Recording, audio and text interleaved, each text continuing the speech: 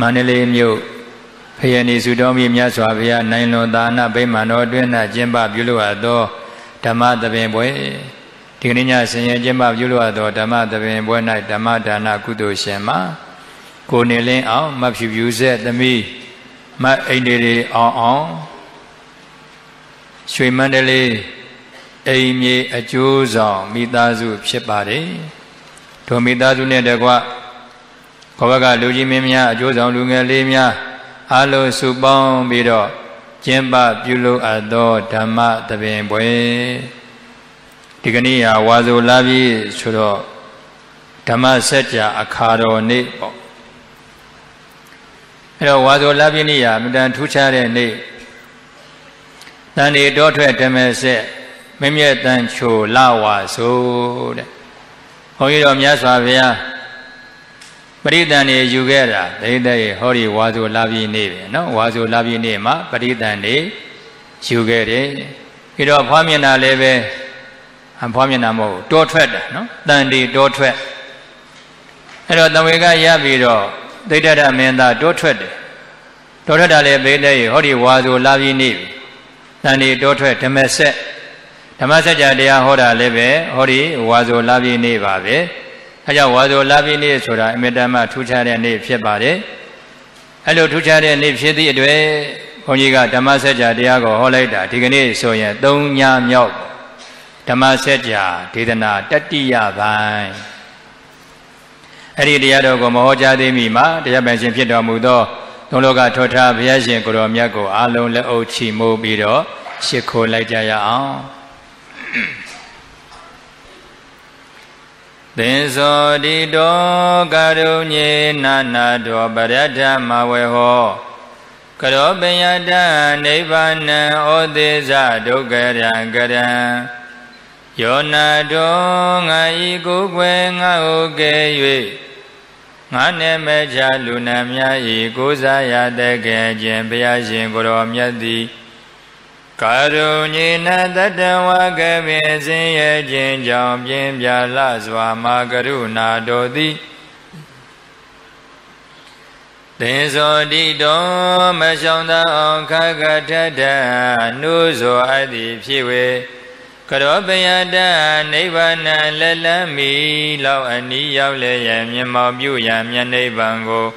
ဟောသေးစအလွယ်တကူလမ်းမဲ့ယူပဲဘုလူတွေ့တာဆွန်လို့ခွာ၍ ဒုက္ခရတမန်လူမြတ်မကြံအောင်ထူးခြားလွန်ကဲပြုနိုင်ခဲ့သောပါရမီဖြစ်မှုကိုကရံကရွန်တော်လေးတင်ချေကိန်းကတသိမြထိမ့်သိမ့်စဉ်စဉ်ပြုကျင့်တော်မူလျက်ပရထံလူနတ်ပြမတတဝါတို့၏အကျိုးစီးပွားကိုအဝင်ဝကောင်းစွာမဲ့သွေဆောင်ရတော်မူခဲ့ပါ၏ ဒါနာတံငါဤကိုယ်ွယ်ငါ့ကိုကယ်၍ငါနဲ့မကြလူနာမြတ်ဤကိုးစားရတဲ့ကင်တို့ဘုရားရှင်ကိုရောမြတ်ကိုမယံတရားဟောပုဂ္ဂိုလ်တရားနာပုဂ္ဂိုလ်ဟုခေါ်ဆိုအပ်ကုန်သောဘုရားတပည့်တော်တို့သည်ဟောနမတရားဟောတရားနာဘိယံကွာ၍ချမ်းသာအမှန်နိဗ္ဗာန်ရောက်ကြောင်းသုပန်တောင်းကား ယုသေးစွာရှိခိုးကြတော်လိုက်ကြပါကုန်၏မြတ်စွာဘုရား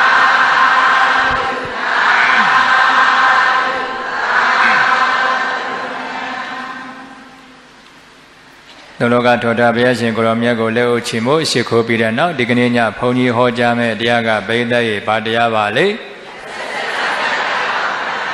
ဓမ္မစကြာတရားတော်တတိယပိုင်း မြတ်စွာဘုရားရှင်ကိုရောမြတ်အစာဥဆုံးဟောတဲ့တရားအဲ့ဒီဓမ္မစကြာရဲ့အနေချုပ်ကအစွန်းရောက်ကျင့်စဉ်နှမျိုးအလေလက်ကျင့်စဉ်သစ္စာ၄ပါးအဲ့တော့အစွန်းရောက်ကျင့်စဉ်နှမျိုးလည်းပြောပြီးကာမတုခံလိကနဲ့အတ္တကိလေမထဇင်ခံတဲ့အကျင့်စဉ်ကိုကာမတုခံလိကဒါလည်းအစွန်းရောက်ကျင့်စဉ်ပဲခန္ဓာကိုယ်နှိမ့်ဆက်တဲ့အကျင့်စဉ်ကိုအတ္တကိလေမထဒါလည်းပဲအစွန်းရောက်ကျင့်စဉ်ပဲ အဲ့ဒီအစွန်းရောက်ကျင့်စဉ်ကိုကျင့်ရင်နိဗ္ဗာန်ကိုမရောက်နိုင်ဘူးနိဗ္ဗာန်ရောက်ချင်တယ်ဆိုရင်အလေလက်ကျင့်စဉ်ကိုကျင့်ရမယ်အလေလက်ကျင့်စဉ်ကိုမေဇိမပရိပရာမဂ္ဂင်၈ပါးအဲ့ဒီမဂ္ဂင်၈ပါးကိုကျင့်မယ်ဆိုရင်ဘိဒ္ဓရဲ့တစ္ဆာ၄ပါးကိုထိုးထွင်းပြီးတော့သိမြင်လိမ့်မယ်ဒုက္ခတစ္ဆာသမုဒိယသစ္စာនិရောဓသစ္စာမေဃသစ္စာဆိုတဲ့သစ္စာ၄ပါးပေါ့အေးအဲ့ဒီသစ္စာ၄ပါးထိုးထွင်းသိမြင်တဲ့အခါမှာမြတ်စွာဘုရားကဗိဒ္ဓရဲ့ သစ္စာတစ်ပါးတစ်ပါးလည်းဉာဏ်၃ပါးနဲ့သစ္စာညာကိစ္စညာကတညာဆိုတဲ့ဉာဏ်၃ပါးဉာဏ်ဘယ်နှပါးသစ္စာညာရဲ့ကိစ္စညာရဲ့ကတညာရဲ့သစ္စာညာဆိုဒီကအနှစ်ချုပ်သဘောတရားလောက်သိတာအဲ့ဒါကိုသစ္စာညာကိစ္စညာဆိုတာကဗိဒ္ဓရဲ့သဘောတရားတွေမဟုတ်တော့ သူနဲ့သက်ဆိုင်တဲ့နေပယ်သူ့ရဲ့ထူးခြားတဲ့လက္ခဏာသူ့ရဲ့အလုတ်အဲ့ဒါကိုပိုင်ပိုင်ခြားခြားသိတယ်ဒါကိုတော့ကိစ္စညာလို့ပြောတယ်ကတဉဏ်ကြတော့ဗိဒ္ဓရဲ့ယဟန္တာဖြစ်ပြီးမှပြန်ပြီးတော့သုံးတတ်တာအဲ့တော့အဲ့ဒါကတော့ဘုန်းကြီးတို့ပုရုဇဉ်ပုံကိုယ်တွေနဲ့မဆန်ဘူးနော်ယန္တာဖြစ်ပြီဆိုရင်ဒီဉာဏ်လေးဒီသစ္စာတရားတွေကိုပြန်ပြီးတော့သုံးသက်တယ်ပြန်ပြီးတော့ဆင်ကျင်တယ်ပေါ့အဲ့ဒါကိုတော့ဗာလေကတဉာဏ် အဲ့တော့သစ္စာတစ်ပါးတစ်ပါးလျင်ဘိဒ္ဓရဲ့ဉာဏ်သုံးပါးအဲ့တော့၄၃လီ7နှစ်အဲ့ဒီ7ပါးကိုဘိဒ္ဓရဲ့အချင်းရာ7ပါးလို့စာပေကဒီလိုပြောတယ်အဲ့တော့သစ္စာ၄ပါးကိုဉာဏ်၃ပါးဖြင့်ထိုးထွင်းပြီးတော့သိမြင်ခဲ့တယ်။အဲ့ဒီအကြောင်းလေးကိုမြတ်စွာဘုရားရှင်ကိုရောမြတ်ကပေဇဝကိ၅ပါးကိုမိန့်ကြားတော်မူလိုက်တယ်။ ဣဒံခောပါဏဒုက္ခအရိယသစ္ဆန္တိမေဘိခဝေဘုဗ္ဗေအနာနုတုတေတုဓမ္မေတုသကုံဥဒ္ဓပါတိညာဏဥဒ္ဓပါတိပညာဥဒ္ဓပါတိဝိဇ္ဇာဥဒ္ဓပါတိအာလောကောဥဒ္ဓပါတိ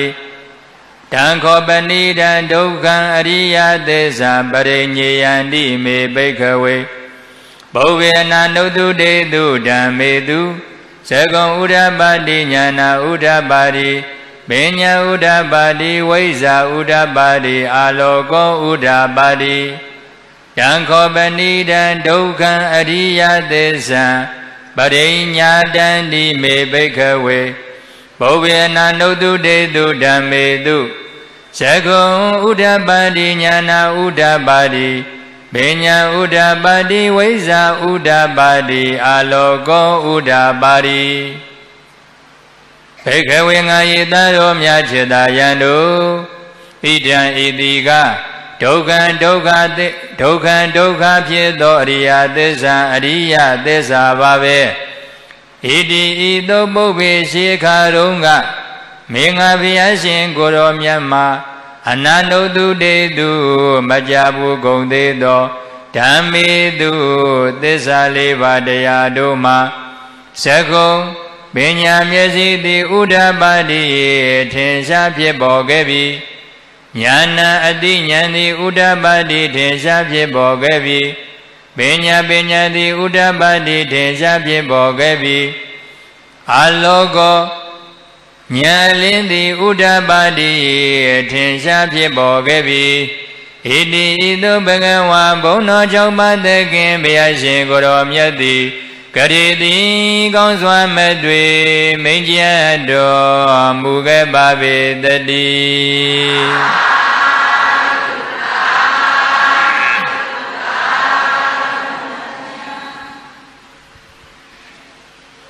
သစ္စာလေးပါးတွေကဒုက္ခသစ္စာနဲ့ပတ်သက်ပြီးတော့ဗိဓရဲ့မြတ်စွာဘုရားကအဲ့ဒီခုနပြောခဲ့တဲ့ဉာဏ်၃မျိုးအကြောင်းကို ပြောပြနေတယ်ဒုက္ခသစ္စာဆင်းရဲကြောင်းအမှန်တရားဟုတ်ပြီယုတ်တရားနံတရားတွေဟာဒုက္ခသစ္စာပဲလို့အနိချုပ်သဘောတရားလောက်သိတယ်ဆိုရင်အဲ့ဒါသစ္စာညာသစ္စာညာဆိုတာဘေကတဲ့ရဲ့အနိချုပ်သဘောတရားလောက်ပဲသိတယ် အဲ့ဒါကိုအကျေတင်ဝင်သိတယ်သူ့ရဲ့နေပေဒုက္ခသစ္စာဆိုသည်ကသိရမယ့်သစ္စာလားပေရမယ့်သစ္စာလားလို့မေးတဲ့အခါမှာဗိဒ္ဓရဲ့ပေရမယ့်သစ္စာမဟုတ်ဘူးဗျဒုက္ခသစ္စာဆိုတာပိုင်းခြားပြီးတော့သိရမယ့်သစ္စာဒါကြောင့်ဒုက္ခသစ္စာရဲ့ကိစ္စကအဲ့ဒါပရိညေယပရိညာတဆိုတာအဲ့ဒါပြောတယ်နော်ဒုက္ခသစ္စာဆိုတာဗိဒ္ဓရဲ့ပယ်လို့ရမလား ဒီခန္ဓာကိုယ်ကြီးလေပယ်လို့မရဘူးပယ်ရမှာကပါလေတဏှာအဲကြောင့်ဒုက္ခသစ္စာသည်ပယ်ရမယ့်သစ္စာမဟုတ်ဘူးပိုင်းခြားပြီးတော့သိရမယ့်သစ္စာသူ့ရဲ့ကိုယ်ပိုင်လုပ်ငန်းကိုယ်ပိုင်ကိစ္စကိုယ်ပိုင်လက္ခဏာကိုသိတယ်ဆိုရင်အဲ့ဒါကိုကိစ္စညာဒီပုဂ္ဂိုလ်ဆရာလို့သိလိုက်ရင်ဘိဒ္ဓရဲ့အဲ့ဒါအနှစ်ချုပ်သိတာသဘောတရားဆရာတော့ဟုတ်ပြီကွာ ဘာဆရာလဲပကြီးဆရာလားစာရေးဆရာလားဘလို့ဆရာမျိုးလဲလို့ဘိဒ္ဓရဲ့မေးတရားရှိတယ်ဆရာတွေအမျိုးမျိုးရှိသည့်အတွက်သူနဲ့ဆိုင်ရာဆိုင်ရာနယ်ပယ်ကိစ္စတွေမှာကျွမ်းကျင်တဲ့ပုဂ္ဂိုလ်ဒါဆရာလို့သတ်မှတ်တာမို့လားအေးစာသင်ပေးတဲ့ပုဂ္ဂိုလ်ဆိုရင်ကျောင်းဆရာပေါ့စေထိုးပေးတဲ့ဆရာဆိုရင်တော့ဆေးဆရာပေါ့ပကြီးရေးဆွဲတဲ့ဆရာဆိုရင်တော့ပကြီးဆရာပေါ့အေးအဲ့ဒီလိုပိဋကရဲ့ဆရာအမျိုးမျိုးရှိသည့်နဲ့သူနဲ့သက်ဆိုင်တဲ့နယ်ပယ် အဲ့ဒါကိုကျွမ်းကျင်ရင်သူနဲ့သက်ဆိုင်တာကဘယ်လိုနယ်ပယ်လဲပကြီးနယ်ပယ်ဆိုရင်ပကြီးဆရာပေါ့ဘဗုနယ်ပယ်သူနဲ့ဘဗုဆရာပေါ့အေးအဲ့ဒီလိုသူ့ရဲ့ထူးခြားတဲ့လက္ခဏာလေးတွေရှိတယ်လို့ပဲဒုက္ခသစ္စာမှာလည်းဘိသက်ရဲ့အဲ့ဒီလိုထူးခြားတဲ့လက္ခဏာရှိတယ်ဒုက္ခသစ္စာရဲ့ထူးခြားတဲ့လက္ခဏာကချမ်းဖို့ပိုင်းခြားပြီးတော့သိရမယ်ကိစ္စသိပဲစိုက်ပွားတယ်ဒါလေးမှတ်ထား သိဒုက္ခသစ္စာကိုသိရမယ်ဘယ်တဏှာခေါ်တဲ့သမုဒိယသစ္စာကိုဘယ်ရမယ်စိုက်နိဗ္ဗာန်ဆိုတဲ့និရောဓသစ္စာကိုဆက်ရောက်အောင်ကြိုးစားရမယ်ပွားမဂ္ဂင်၈ပါးလို့ခေါ်တဲ့မေဃသစ္စာကိုပွားများရမယ်အဲ့ဒါကိုယ်ပိုင်လက္ခဏာကိုယ်ပိုင်ကိစ္စကိုယ်ပိုင်နယ်ပယ်ပဲဒါကြောင့်အနိစ္စသဘောတရားလို့သိရင်အဲ့ဒါပါလေသစ္စာညာ ကိုယ်ပိုင်ကိစ္စကိုယ်ပိုင်လက္ခဏာကိုသိရင်ကိစ္စညာယဟန္တာဖြစ်တဲ့အခါမှာပြန်ပြီးတော့သုံးသပ်ရင်တော့ကတညာပြောမယ်ဆိုရင်တော့ဗျာသစ္စာညာဆိုသည်ကအဝေးကြည့်ပဲကိစ္စညာဆိုသည်ကအနီးကြည့်ဆိုကြပါစို့စင်ကြီးတကောင်လာနေပြီဆိုရင်အဝေးကနေလှမ်းမြင်တယ်ဟာဟိုရှေ့ကလာနေတာကတော့စင်ကြီးပဲသိလိုက်တယ် ခဝိုးရနေမြင်လိုက်တယ်စင်လို့တော့သိတယ်သို့တော့ဗိဒ္ဓရဲ့အဆွေတို့နှာမောင်းတို့နေရွက်တို့ခြေတော်တို့ဟာအဆွေကဘယ်လောက်ရှိတာနှာမောင်းကဘယ်လိုပဲလို့အဲ့ဒါကိုတော့ဗိဒ္ဓရဲ့အဝေးကနေကြည်သည့်အတွက်ထင်ထင်ရှားရှားမြင်ရရဲ့လားမြင်ပါဘူးသို့သောအဲ့ဒီတရားဝါကြီးဟာစင်လို့တော့သိတယ်နော်စင်လို့တော့သိတယ်သို့သောအသေးစိတ်မသိဘူးအနိကရောက်ပြီဆိုတဲ့အခါ ကိုနာရောက်ပြီဆိုတဲ့အခါမှာအနိကကြည့်လိုက်တယ်။အော်စင်ဆွဲဆိုတာဘလို့ပဲနှာမောင်းဆိုတာဘလို့ပဲလို့ဘိဒ္ဓရဲ့ထင်ထင်ရှားရှားမမြင်ရဘူးလား။အဲ့ဒါအနိကြီးနော်အဝေးကြီးဆိုတာကသဘောတရားလောက်ပဲသိတယ်နော်ထင်ထင်ရှားရှားမသိရဘူး။အနိကြီးကြတော့ထင်ထင်ရှားရှားမသိရဘူးလား။အဲ့ဒီအတိုင်းပဲသစ္စာဉာဏ်ဆိုသည်ကအဝေးကြီးဩဒါဒုက္ခသစ္စာ ဟောဒီခန္ဓာကြီးဒီဒုက္ခသစ္စာပဲဒါတော့ပဲသိအဝေးကြီးကိစ္စညာကြတော့ပိဋကရေဟောဒီခန္ဓာ၅ပါးဒီဒါကဖြစ်ခြင်းသဘောဒါကပြည့်ခြင်းသဘောအဲ့ဒီဖြစ်ခြင်းသဘောနဲ့ပြည့်ခြင်းသဘောတရားကိုထင်ထင်ရှားရှားသိပြီဆိုရင်တော့ဗိဒ္ဓရဲ့အဲ့ဒါမှတ်လိုက်တော့ကိစ္စညာဘာညာအဲ့ဒီနှစ်ခုကိုဗိဒ္ဓရဲ့သဘောပေါက်အောင်နော်အဲ့ဒီလိုဥပမာလေးနဲ့စဉ်းစားရ အဲ့တော့ပြောချင်တာကတစ္ဆညာဆိုသည်ကအဝေးကြီးလားအနီးကြီးလားအဝေးကြီးသဘောတရားလောက်ပဲသိတယ်ဒါဒုက္ခသစ္စာဒါပဲသိကိစ္စညာဆိုသည်ကအနီးကြီးအနီးကြီးဆိုတော့ပိဋကရေဟောဒီခန္ဓာ၅ပါးကိုလည်းမြင်တယ်ခန္ဓာ၅ပါးရဲ့ဖြစ်ခြင်းသဘောပြည့်ခြင်းသဘောကိုလည်းမြင်နေဒါဆိုရင်ပါလေကိစ္စညာကတ္တညာဆိုတာကတော့ယဟန္တာဖြစ်မှ ပြန်ပြီးတော့ဆင်ញင်တယ်ပြန်ပြီးတော့သုံးသပ်တယ်အဲ့ဒါကိုတော့ပိဋကရေကတ္တဉာဏ်လို့ခေါ်တယ်အဲ့တော့ဒုက္ခသစ္စာမှာဉာဏ်ဘယ်နှပါသစ္စာဉာဏ်ရဲ့ကိစ္စဉာဏ်ရဲ့ကတ္တဉာဏ်ရဲ့ဘုန်းကြီးတို့နားလည်ထားရမှာကသစ္စာဉာဏ်နဲ့ကိစ္စဉာဏ်အဲ့ဒီနှစ်ခုပဲကတ္တဉာဏ်ကပါလေယဟန္တာတွေနဲ့ဆိုင်တာနော်သစ္စာဉာဏ်ကအဝေးကြီးကိစ္စဉာဏ်ကအနီးကြီး အနိကြီးဆိုပါလေထင်ထင်ရှားရှားမြင်ရတယ်ဒုက္ခသစ္စာမှာအဲ့လိုဉာဏ်သုံးမျိုးနဲ့ပတ်သက်ပြီးတော့မြတ်စွာဘုရားပြောပြအဲ့ဒီတော့ဘိဒ္ဓရဲ့သမုဒိယသစ္စာကိုဆက်ပြီးတော့မိတ်ဣဒံခောပါဏဒုက္ခသမုဒယအရိယသစ္စာနိမေဘိကဝေဘောဝေနနုတုတေတုဓမ္မေတုသကုံဥဒ္ဓပါတိညာနာဥဒ္ဓပါတိ မညာဥဒ္ဓပါတိဝိဇံဥဒ္ဓပါတိအာလောကောဥဒ္ဓပါတိတံခောပဏိတံဒုက္ခသမုဒယအရိယသစ္စာမဟာတပ္ပတိမေဘေကဝေပုဝေအနနုတုတေတုဓမ္မေတုသကုံဥဒ္ဓပါတိညာနာဥဒ္ဓပါတိပညာဥဒ္ဓပါတိဝိဇာဥဒ္ဓပါတိအာလောကောဥဒ္ဓပါတိတံခောပဏိတံဒုက္ခသမုဒယံအရိယသစ္စာ ပဟိနန္တိမေဘိကဝေဘောဝေနာနုတုတေတုဓမ္မေတုသကုံဥဒ္ဓပါတိညာနာဥဒ္ဓပါတိပညာဥဒ္ဓပါတိဝိဇာဥဒ္ဓပါတိအာလောကောဥဒ္ဓပါတိဘိကဝေငါယေတတော်မြတ်จิตာယံတို့ဣဒံဣတိကဒုက္ခသမုဒယံဒုက္ခသမုဒယဖြစ်သောအရိယသစ္စာအရိယသစ္စာပါပဲ ဣတိဤသို့မင်္ဂဘုရားရှင်ကိုတော်မြတ်မှာပုဗ္ဗေရှိအခါတုန်းကအနနုတုတေသူမကြဘူးကုန်သေးသောဓမ္မေတုသစ္စာလေးပါးတရားတို့မှာသကုံပညာမျက်စိသည်ဥဒ္ဓပါတိထင်ရှားဖြစ်ပေါ်ခဲ့ပြီးညာနာအတိဉာဏ်သည်ဥဒ္ဓပါတိထင်ရှားဖြစ်ပေါ်ခဲ့ပြီးပညာပညာသည်ဥဒ္ဓပါတိထင်ရှားဖြစ်ပေါ်ခဲ့ပြီး ဝိဇံဝိဇာတိဥဒ္ဓပါတိထင်ရှားဖြစ်ပေါ်ခဲ့ပြီး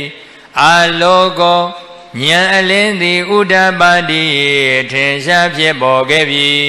ဣတိဤသို့ဘဂဝါဘုန်းတော်ကြောင့်ပါတဲ့ခင်ဘုရားရှင်ကိုရောမြတ်သည်ကရိတိကောင်းစွာမဲ့တွေ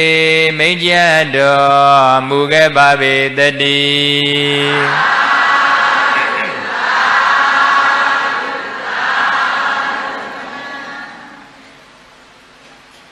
ဒုက္ခသစ္စာမှာဉာဏ်သုံးပါးရှိတယ်လို့သမုဒိယသစ္စာမှာလည်းပဲဉာဏ်သုံးပါးရှိတယ်ဒုက္ခသစ္စာဆိုကြည်တာဆင်းရဲခြင်းအမှန်တရားသမုဒိယသစ္စာဆိုဒီကဆင်းရဲဖြစ်ကြောင်းဒီဒုက္ခတွေဘာကြောင့်ဖြစ်လဲလို့အကြောင်းတရားကိုရှာလိုက်တော့ဘိသက်ရဲ့တဏှာလောဘကိုတွေးရတယ်ဒါကြောင့်တဏှာလောဘသည်သမုဒိယသစ္စာဘာသစ္စာ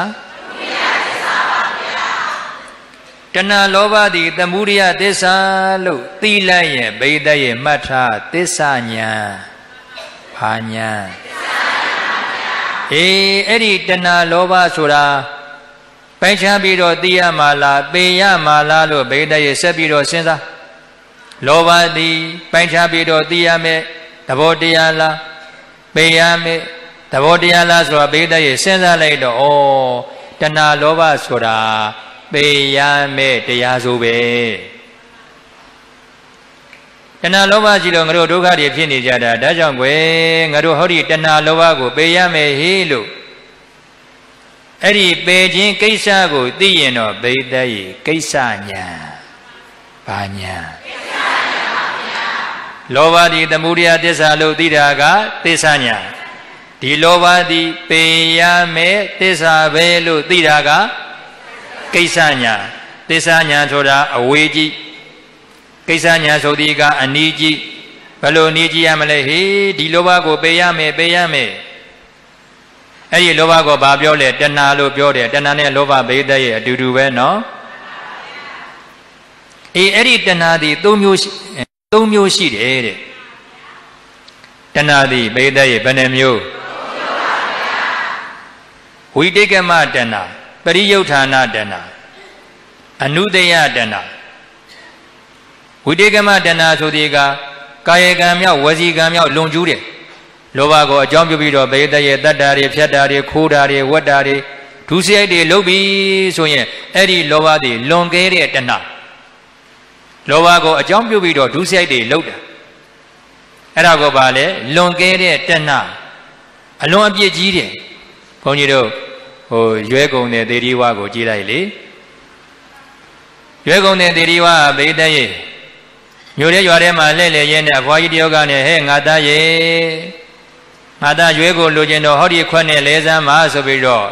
ရွှေခွက်အစ်စ်ကိုဘိန်းတဲ့သူ့ကိုပေးလိုက်တယ်ဒါပေမဲ့အဲ့ဒီအဖွားကြီးကရွှေခွက်ကိုရွှေခွက်မှမသိဘူးမသိတော့ခဲပါရတဲ့လောက်ဖို့ဆိုပြီးတော့ရွဲနဲ့လဲခိုင်းတယ်အဲ့ဒါကိုသေဒီဝါကအဲ့ဒီရွှေခွက်ကို ဘိသက်ရဲ့အလေးနဲ့ချစ်ကြည့်တော့ဟာဒဒါရွှေအစစ်ပဲလို့သိလိုက်အဲဒီလိုသိပြီမဲ့ဘိသိက်ဒီရွှေကကိုသူကအချောင်ရကျင်တာဟာဒီအဖွားကြီးမသိရှာဘူးအဲ့တော့ငါအချောင်ရအောင်ဘယ်လိုလုပ်ရမလဲစိတ်ထဲမှာဖြစ်ပေါ်လာတယ်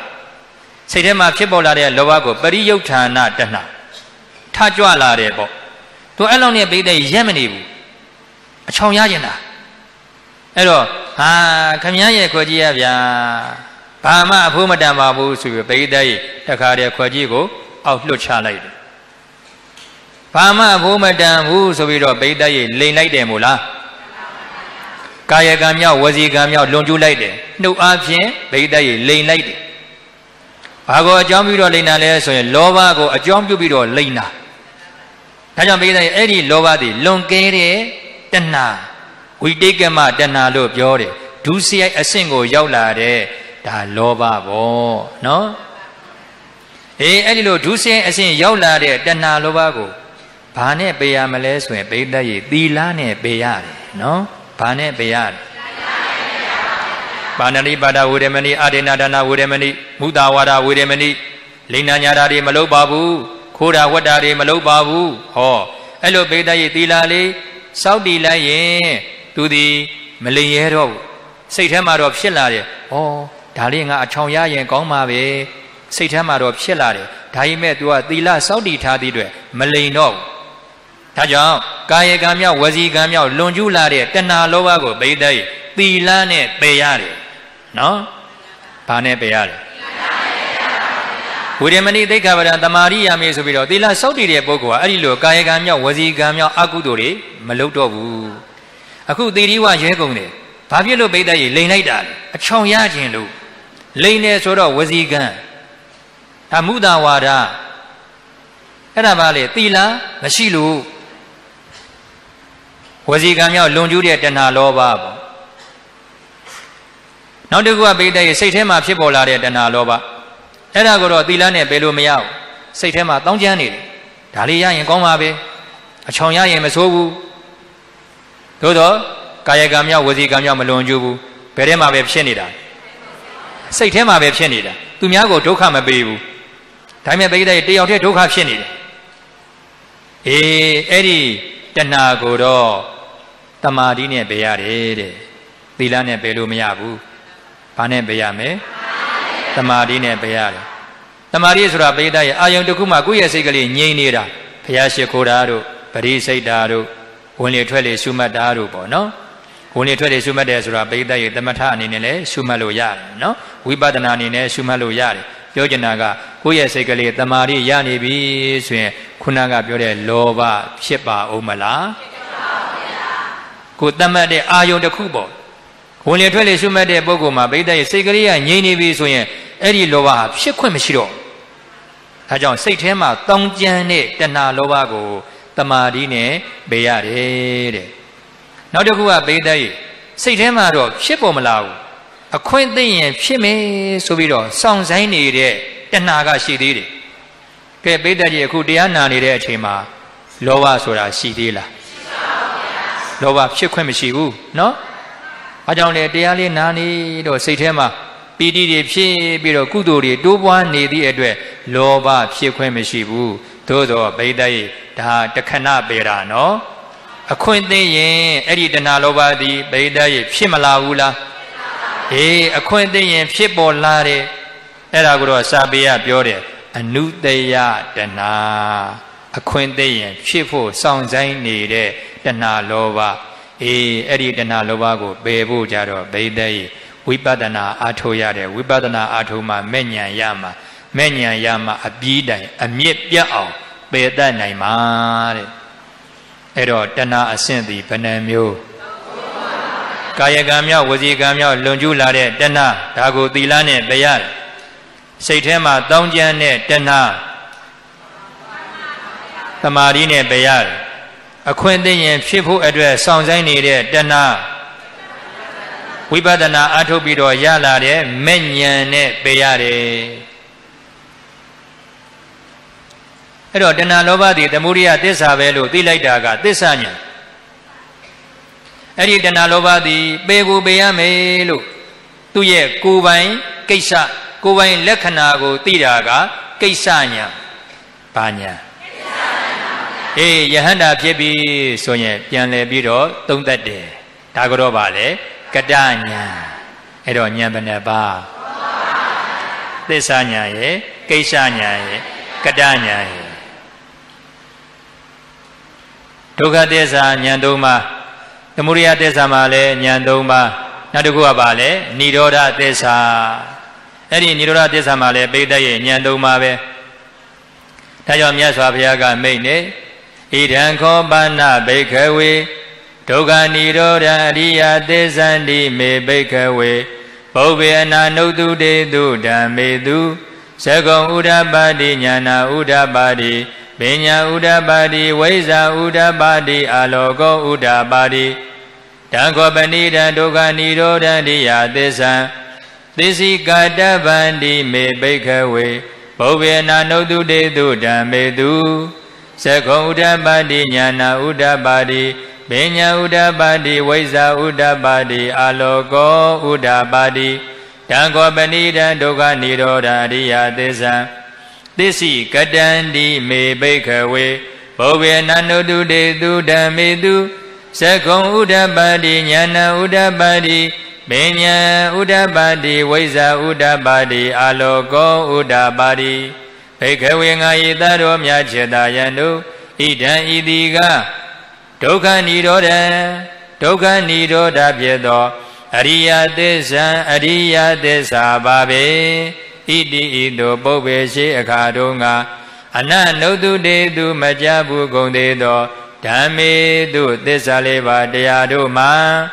သက္ခုံ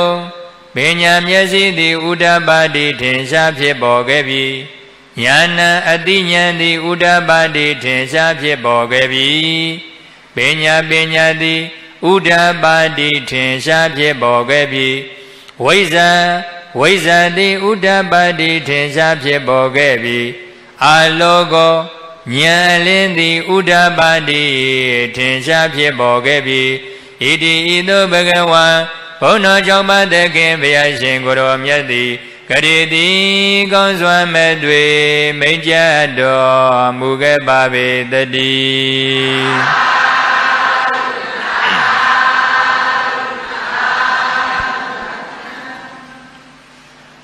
နိရောဓသစ္စာ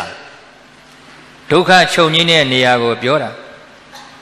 ဒုက္ခချုပ်ငြိမ်းတဲ့နေရာကိုနိရောဓသစ္စာအဲ့တော့ဒုက္ခချုပ်ငြိမ်းတဲ့နေရာဒါနိရောဓသစ္စာနိဗ္ဗာန်ပဲလို့သဘောတရားလောက်သိရင်အဲ့ဒါဘိသက်ရဲ့သစ္စာဉာဏ်ဘာဉာဏ်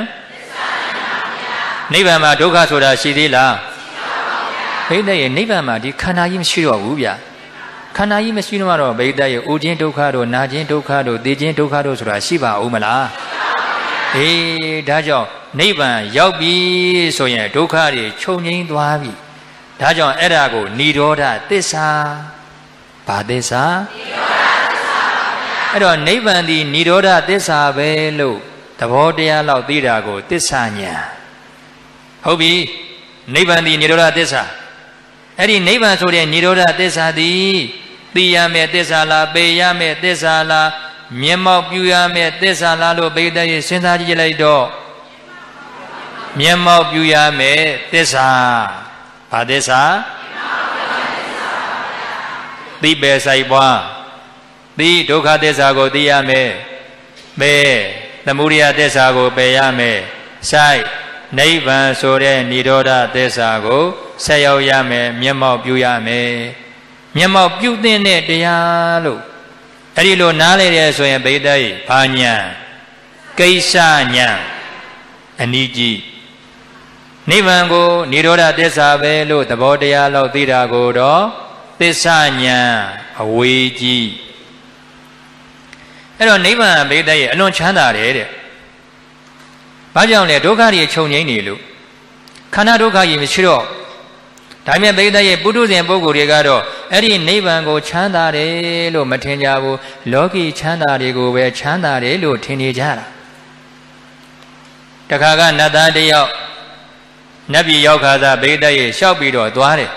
ဟိုဘုန်းကြီးတို့မရောက်ဘူးတဲ့နေရာနော်မရောက်ဘူးသေးတဲ့နေရာရောက်ပြီဆိုရင်ဟိုနာဒီနာလှည့်ပြီးတော့ကြည်တယ်လို့ပေါ့ဟာငါနတ်ပြည်ရောက်လာပြီဟေးနတ်ပြည်မှာ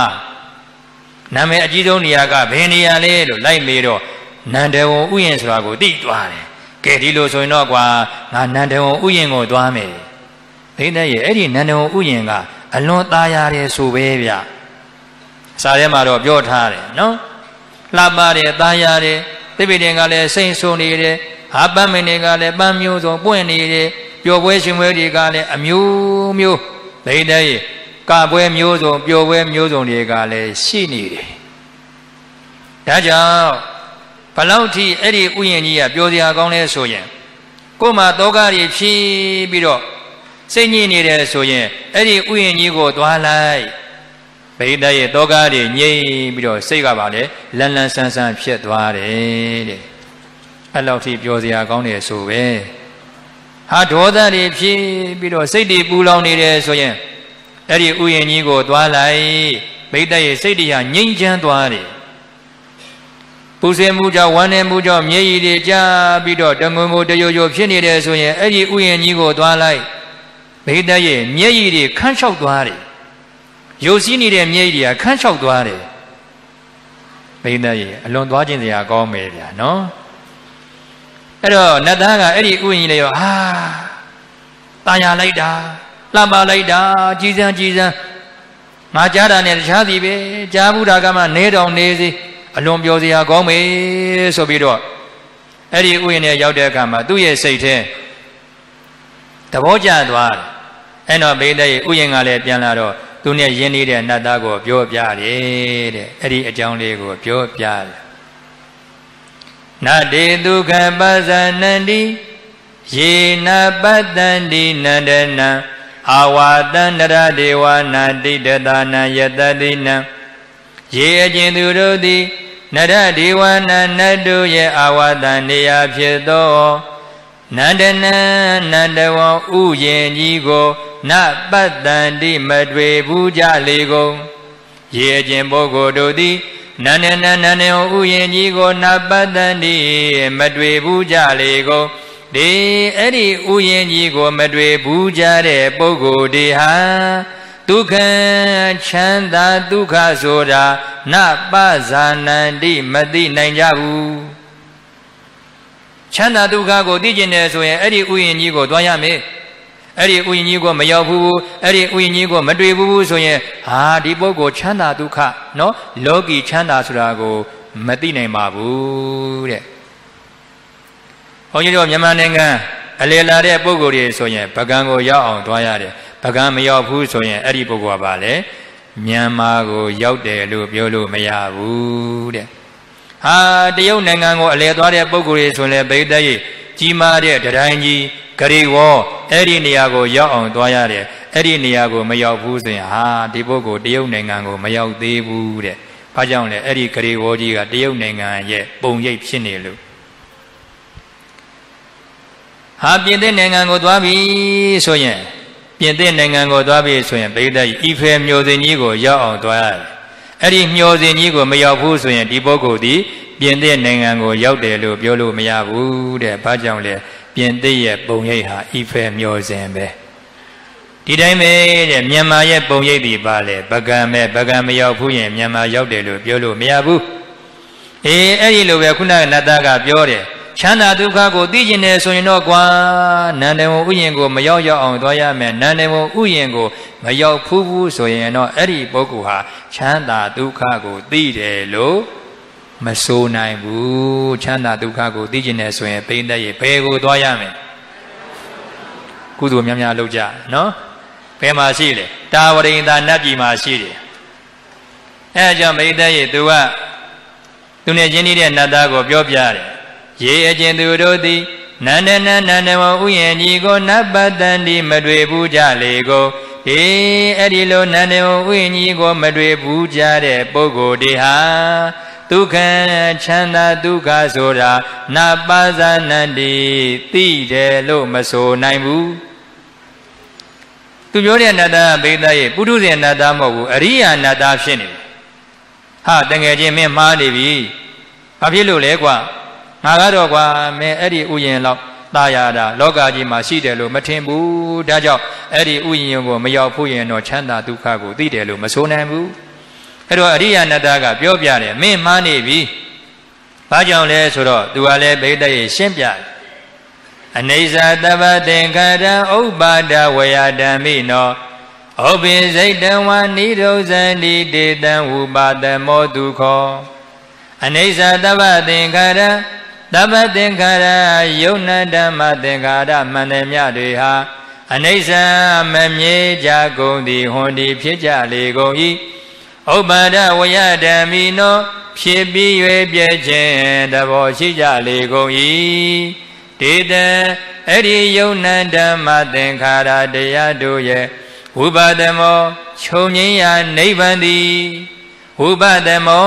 ခြုံငင်းရာနိဗ္ဗာန်သည် ဒုက္ခချမ်းသာစေချမ်းသာမှန်သည်ဟောတိဖြစ်ပါပေ၏ငါလူမင်းမှန်းနေပြီဘာကြောင့်လဲမင်းကဒီဥယျာဉ်ကြီးကိုရောက်ဖို့မှချမ်းသာဒုက္ခကိုသိတယ်လို့ဆိုနိုင်တယ်ဆိုတော့မင်းအမြင်မှားနေပြီတကယ်ချမ်းသာဆိုတာကနိဗ္ဗာန်ကိုပြောတာဘာကြောင့်လဲဟောဒီဥယျာဉ်ကြီးသည်တနေ့သောအခါမှာပျက်စီးရအောင်မေ ထာဝရတည်တတ်နေတယ်ဆိုရင်တော့ဟုတ်ပါတယ်ကွာတဲ့ချမ်းသာဒုက္ခအစ်စ်လို့ပြောလို့ရတယ်ဒါပေမဲ့ဟောဒီဥယျာဉ်ကြီးကတနေ့ရောက်ရင်ဘိဒတ်ရဲ့ဘာဖြစ်အောင်မှာပျက်စီးအောင်မှာယံကိစီသမုဒိယဓမ္မတပ္ပန္တဏိဒောဒဓမ္မဖြစ်သည်မြအရာအလုံးသည်ပျက်စီးခြင်းမှာအဆုံးသတ်၏ဆိုတော့အဲ့ဒီဥယျာဉ်ကြီးကလည်းတနေ့သောအခါပြည့်ရအောင်မယ်ပြည့်ရအောင်မယ်ဆိုတော့ဘိဒတ်ရဲ့ဒုက္ခလို့ဆိုရမှာလားဒုက္ခလို့ဆိုရမှာလား ပျက်စီးရအောင်မယ်ဆိုတော့ဒုက္ခပဲပေါ့နိဗ္ဗာန်ကြတော့ပိဋကရဲ့ပျက်စီးခြင်းဆိုတာရှိသေးလားအဖြစ်မရှိဘူးအဖြစ်မရှိရင်အပြည့်မရှိဘူးအဖြစ်ရှိရင်တော့အပြည့်ရှိအောင်မယ်အပြည့်ရှိရင်တော့ပိဋကရဲ့ဒုက္ခလို့ပြောလို့ရမလားမရဘူးဒါကြောင့်ပိဋကရဲ့ချမ်းသာတဲ့ချမ်းသာမှဆိုတာဘာလဲနိဗ္ဗာန်အဲ့ဒီနိဗ္ဗာန်ကိုရောက်အောင်သွားမှချမ်းသာဒုက္ခဆိုတာသိမယ်ဆိုပြီးတော့အရိယာနတ္တကပြောပြတယ် ဒါကြောင့်ပိဋကကြီးနားလည်ထားဖို့ရာကနိဗ္ဗာန်ဆိုတာនិရောဓသစ္စာပဲလို့အနည်းချုပ်သိရင်အဲ့ဒါပါလေသစ္စာညာအဲ့ဒီနိဗ္ဗာန်ဒီမျက်မှောက်ပြုရမယ့်တရားဆက်ရောက်ရမယ့်တရားလို့အဲ့ဒီလိုသိရင်ကိစ္စညာဘာညာယဟန္တာဖြစ်ပြီဆိုတဲ့အခါမှာပြန်လည်ပြီးတော့ဆင်ခြင်တယ်အဲ့ဒါကိုတော့ကတ္တညာဘာညာ အဲ့တော့និရောဓသစ္စာမှာလည်းဉာဏ်၃ပါးပဲအဲ့တော့သစ္စာ၃ပါးပြီးသွားပြီနောက်ဆုံးသစ္စာကမက္ခသစ္စာဘိဒယေဘာသစ္စာဣဒံခောပါဏဘိခဝေဒုက္ခនិရောဓဂာမိနိပฏิပဒာရိယသစ္ဆန္တိမေဘိကဝေပုဗ္ဗေအနာနုတုတေတုဓမ္မေတုသကုံဥဒ္ဓပါတိညာနာဥဒ္ဓပါတိ ဘေညာဥဒ္ဓပါတိဝိဇာဥဒ္ဓပါတိအာလောကောဥဒ္ဓပါတိဘိခဝေငါယေတတော်မြတ်ချက်တာယံတို့ဣဒံဤတိကဒုက္ခនិရောဓဂာမိနေပฏิပဒာဒုက္ခချုပ်ငြိမ်းရာနိဗ္ဗာန်သို့ရောက်ကြောင်းအကျင့်ဖြစ်သော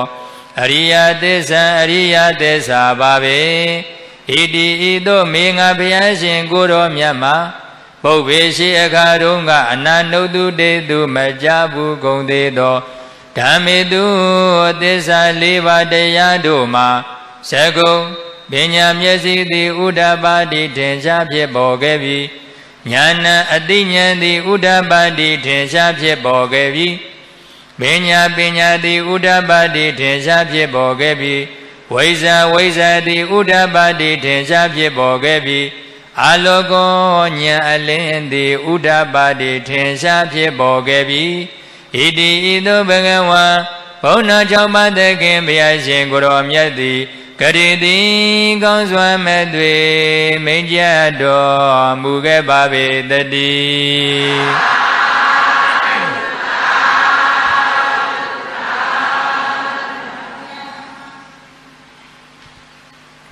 မဂ္ဂသစ္စာမှာလည်းဉာဏ်သုံးပါးသစ္စာဉာဏ်ရဲ့ကိစ္စဉာဏ်ရဲ့ကတ္တဉာဏ်ရဲ့မဂ္ဂင်၈ပါးကိုမဂ္ဂသစ္စာ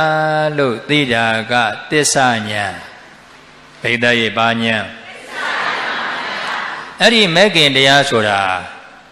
သိရမယ့်သစ္စာမဟုတ်ပေရမယ့်သစ္စာမဟုတ်မျက်မှောက်ပြုရမယ့်သစ္စာမဟုတ်ပွားများရမယ့်သစ္စာဘာလို့ရမယ့်သစ္စာ သိပဲစိုက်ပွားနော်မဂ္ဂင်၈ပါးဆိုတာပွားများရမယ့်သစ္စာပဲပွားများရမယ့်တရားတွေပဲလို့အဲ့ဒီလိုဗိဒ္ဓရဲ့ကိုယ်နဲ့သက်ဆိုင်တဲ့ကိစ္စကိုသိရင်တော့ဘာညာကိစ္စညာဘာညာကျမကြီးတကောင်ကျဥလေးတွေဥတယ် ကျဥတွေဥတယ်ဥပြင်းတော့ဘေးတဲ့ရဲ့အဲ့ဒီကျမကြီးသည်အဲ့ဒီကျဥတွေအပေါ်မှာဘာလို့ပေးရမလဲအေးအကောင်လေးတွေဖြစ်လာဖို့အတွက်ကျမကြီးရာကျဥလေးပေါ်မှာဝက်ပေးရတယ်အဲ့ဒီကျဥတွေပေါ်မှာမဝက်ဖဲနဲ့အကောင်လေးတွေဖြစ်ပါစေအကောင်လေးတွေဖြစ်ပါစေဆိုပြီးတော့ဘေးတဲ့ရဲ့ဆူတောင်းလို့ရမလားအေးအဲ့ဒီကျဥကနေအကောင်လေးတွေဖြစ်စေခြင်းနဲ့ဆိုရင်အဲ့ဒီကျဥအပေါ်မှာဝက်ပေးရတယ်မဝက်ဖဲနဲ့တော့မရဘူး ဒီတိုင်းပဲနိဗ္ဗာန်ကိုရကျင်တယ်ဆိုရင်ဘိသိက်နိဗ္ဗာန်ရောက်ပါရစေလို့ဆုတောင်းရုံနဲ့မရဘူးတဲ့ဟောဒီမက်ကင်၈ပါးကို ပွားများရမယ်တဲ့ဘာကိုပွားများရမယ်ဒါကြောင့်ဘိသိက်မက်ကသစ္စာသည်ပွားများရမယ်သစ္စာဘာသစ္စာအဲ့ဒီလိုသိတာကိုကိစ္စဉာဏ်တဲ့နော်မဂ္ဂင်၈ပါးကိုမဂ္ဂသစ္စာလို့သိတာက သစ္စာဉာဏ်ပွားများရမယ့်သစ္စာပဲလို့သိတာကကိစ္စဉာဏ်ယဟန္တာဖြစ်ပြီဆိုတဲ့အခါမှာပြန်လည်ပြီးတော့သုံးသတ်တယ်အဲ့လိုသုံးသတ်တဲ့အခါမှာသိတဲ့ဉာဏ်ကိုတော့ကတဉာဏ်ဉာဏ်ဘယ်နှပါးအဲ့တော့သစ္စာလေးပါးမှာတပါးတပါးလျင်ဉာဏ်သုံးပါးဆိုပေါင်းဘယ်နှပါးဖြစ်သွားတယ်၁၂ပါးဖြစ်သွားတယ်အဲ့တော့မြတ်စွာဘုရားကဆက်ပြီးတော့မိတ် ယာဝကိဝေသမေဘေခဝေဣမေတုသတုတုအရိယသေစေတုဧဝံတိပရိဝတ္တံဒွါရတကတံယထာဘူရံညာနာတတနာနတုဝေသုတ်တံအဟောတိနေဝတဝံဘေခဝေသဒေဝကေလောကေသမရကေသဗျံမကေသတမနာဗြမဏိယပဇာယသတိဝမနုဿာယ အနုတ္တရသမ္မာသမ္ဗုဒ္ဓေအဘိသံဗုဒ္ဓောတိပစ္စေညာတိဘေကဝေငါယေတတော်မြတ်ခြေသာယံတို့မေငါဘုရားရှင်ကိုရောမြတ်မှာယဝကိဝံအကျင့်မြတ်လောက်သောကာလပတ်လုံးဇတုသူလေးမျိုးကုံသောဣမေတုအရိယသစ္စေတုဤအရိယသစ္စာတို့မှာ